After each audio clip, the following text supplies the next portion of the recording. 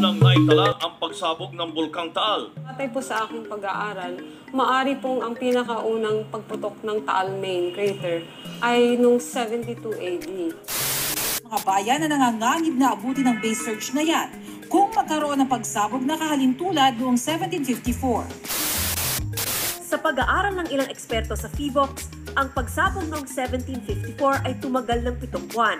Ang apat na araw na pagsabog ng bulkan nagresulta sa pagkamatay ng mahigit 1,300 na tao. Nagkaroon na ng fissuring o pagbitak ng lupa sa ilang bayan sa Batangas.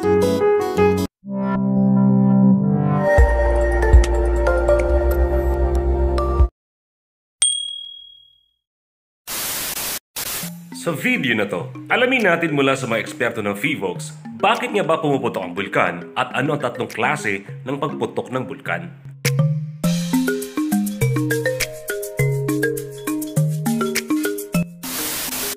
Pumuputok ang bulkan kasi may magma sa ilalim.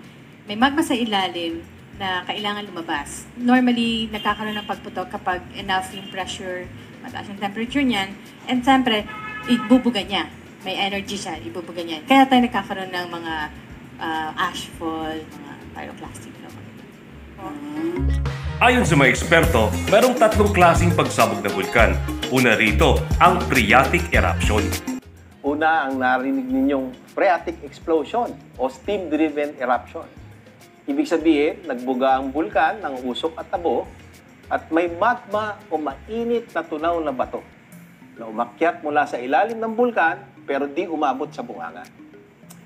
Iinitin nito ang tubig sa main crater lake na siyang puputok at magbubuga ng usok at tabo. It, may tinatawag ding phreatomagmatic eruption. Ito ay kung magtuloy-tuloy ang pag-akyat ng magma o mainit na tunaw na bato at umabot doon sa tubig, ang resulta isang malaking pagsabog. At ang huling klase ng pagsabog ay ang tinatawag na magmatic eruption. Kapag ang magma ay nagtuloy-tuloy paakyat ng bulkan at lumabas sa bunganga ng bulkan, at dumaloy sa dalisdis ng bulkan, tinatawag na itong lava. Para sa tamang impormasyon, huwag kalimutang i-follow ang opisyal na social media pages ng DOC FIVOX. Daghang salamat mga kalodi, ito po ang inyong Mario Valentino.